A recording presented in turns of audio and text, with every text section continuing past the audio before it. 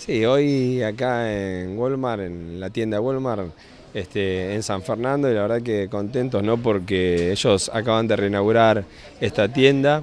tan importante para, el municipio, tan importante para nuestros vecinos, eh, pero fundamentalmente acompañando porque eh, cuando hay una empresa de estas características que se compromete, que invierte, que trabaja a la par del Estado, a la par de los vecinos para darle el mejor servicio, eh, me parece que nosotros como funcionarios públicos es nuestra obligación estar en estos lugares acompañando. Así que el intendente Andriotti eh, nos pidió especialmente que, estemos acompañando a la gente de Walmart y bueno, acá estábamos recorriendo, viendo las cosas nuevas y lindas que, que hicieron en la tienda, una inversión de más de 40 millones de pesos, no es menor, la verdad que eh, no creo que haya otra empresa en San Fernando que haya invertido tanto dinero en este último tiempo, así que eh, bueno, para, para el vecino de San Fernando es un beneficio y para el municipio también. La verdad estamos muy, muy contentos de recibirlos, eh, bueno, recorriendo el piso de venta les fuimos mostrando todos los cambios que fuimos haciendo, mejora para los clientes,